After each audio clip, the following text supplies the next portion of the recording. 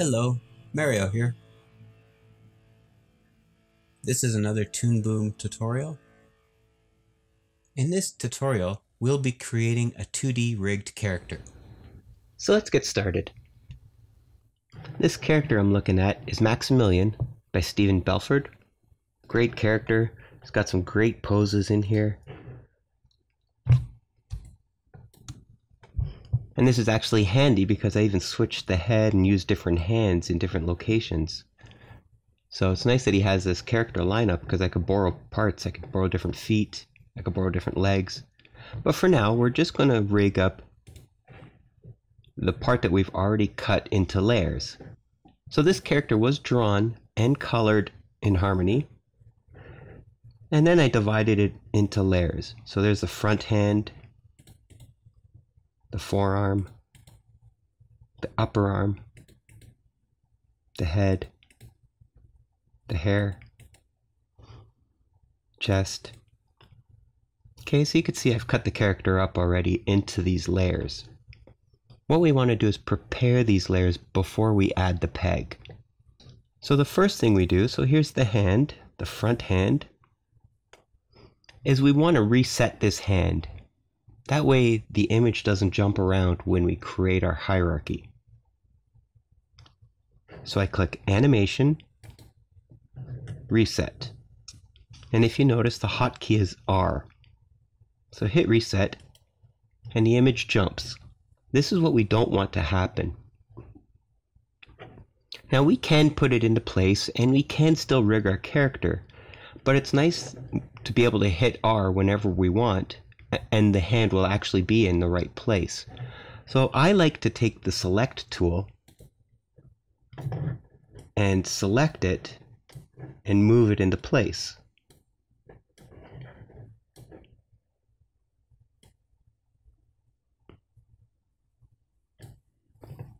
Notice that the line moved, but not the color. So we have to do the same with the color layer.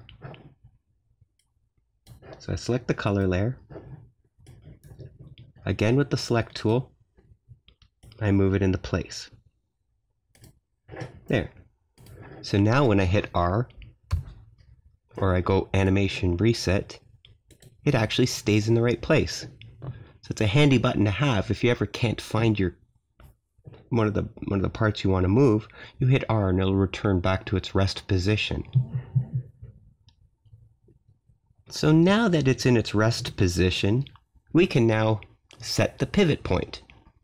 And this is the pivot tool right here, drawing pivot. First what I do is I make sure that the animation button is off. And then I select the transform tool and test the hand. Now if I test this hand, it's not going to move correctly. Okay, so let's make it move correctly. Again, the animation button is still off. I go to my drawing pivot and I put it somewhere a little bit more reasonable.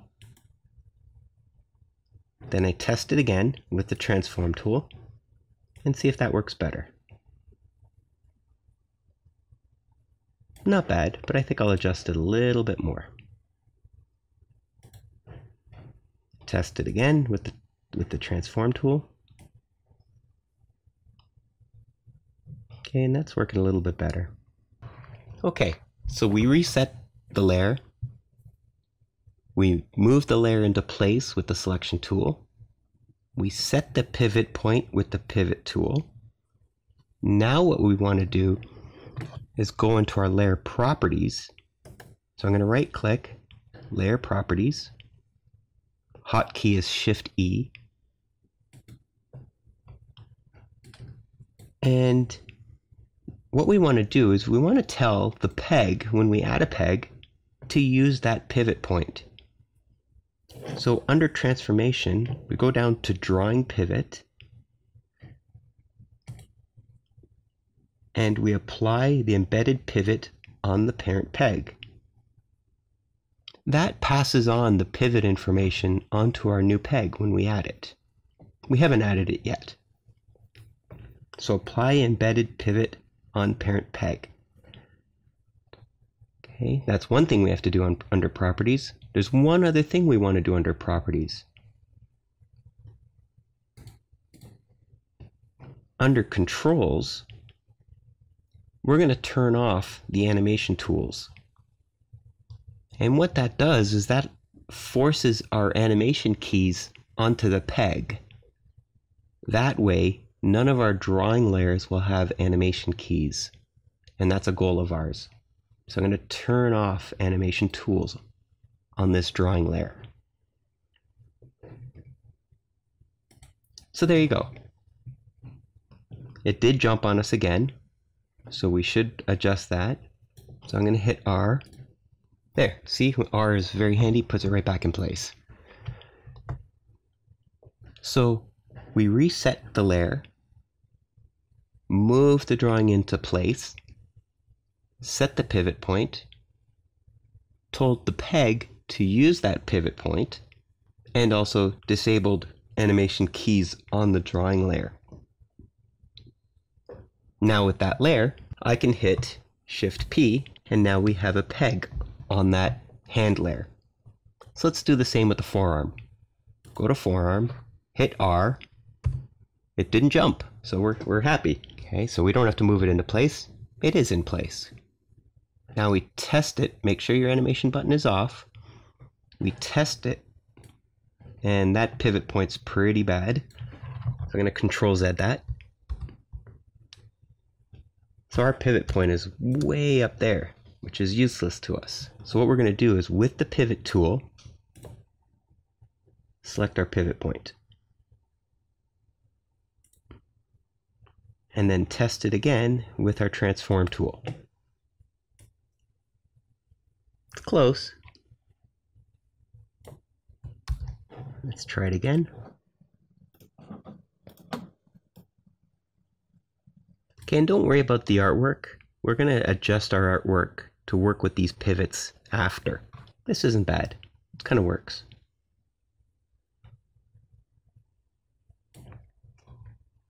Control Z that.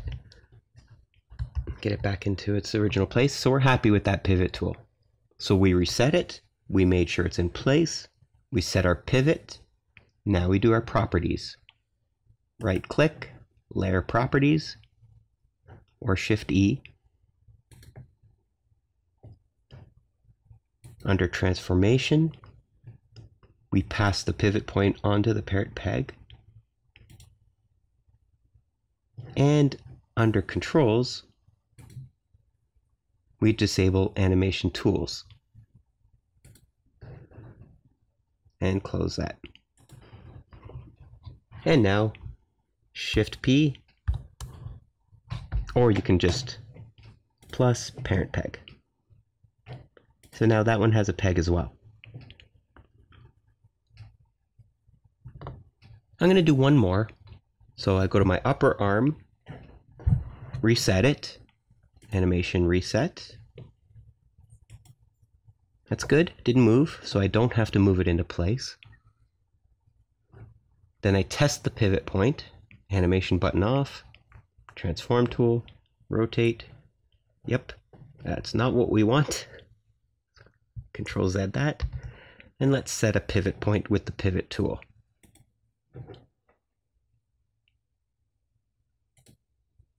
Test it again. That's not bad. Might have to fix that shoulder there, but this isn't bad. We can fix the artwork later. So that pivot point works. So we reset it, we moved it into place, we set the pivot. Now we do layer properties again. Right click, layer properties. Under controls, we turn off animation tools. Under transformation, we send the pivot up to the parent peg.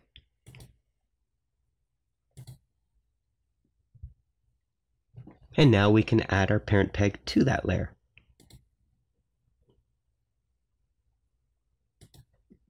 There you go.